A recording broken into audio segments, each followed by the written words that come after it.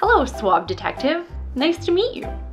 Today, my friend Ajay and I are going to show you how to swab for clues and stop the spread of COVID 19. Ajay will walk us through all the steps in a second. Before that, let's make sure you have all the detective tools you'll need. You'll need a swab to help us collect clues for COVID 19, a collection tube with clear or pink liquid to help protect the clues on the swab. Remember, it's not for drinking. A label with your name on it, a special bag to help keep everything protected and clean, and hand sanitizer. Here are a couple pro tips for our swab detectives. Remember to put the swab in your mouth first, then your nose. Try not to have anything to eat or drink for 30 minutes before the swab. This will make it easier to find clues. Ask your parent or caregiver to help swab for COVID 19 clues. They can also give you a hug or encourage you if you need some help.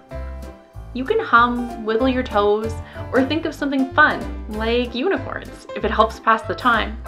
Are you ready, Swab Detective? Let's watch and follow along with Ajay. First, wash your hands for at least 15 seconds. Next, open the swab package and take the swab out by the stick part. Keep your fingers off the soft tip of the swab. We need to keep the swab clean before it goes in your mouth and nose. Stick out your tongue. Now put the swab on the back of your tongue as far back as you can and draw circles slowly and count to five. One, two, three, four, five.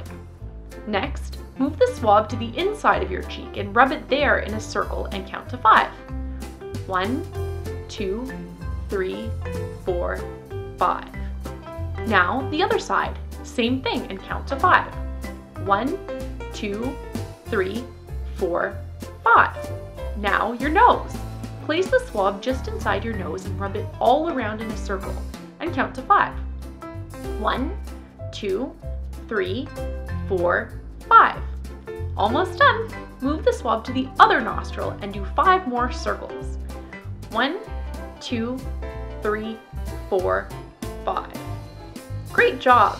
Now, take the swab and put it into the tube, being careful not to spill the liquid. Snap off the stick and put the lid back on tightly so it doesn't leak. Put the label with your name, date of birth, and other information on the tube. If more than one person is going to be doing the test, make sure your label is put on your tube. Put the tube inside the bag and seal it in. Put the paper with your name on it in the outside pocket. Time to clean up by washing your hands again and cleaning any surfaces around you.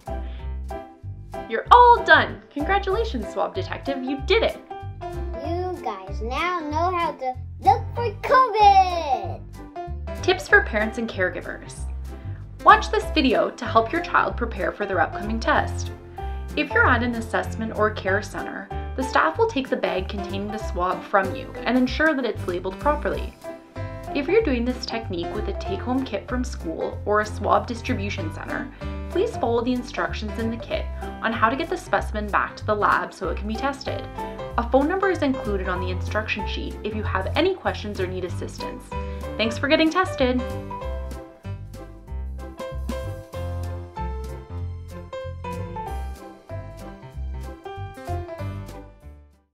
Scrub your palms between the fingers. Wash the back, wash the back till the tips around. Scrub them upside down. Thumb attack, thumb attack.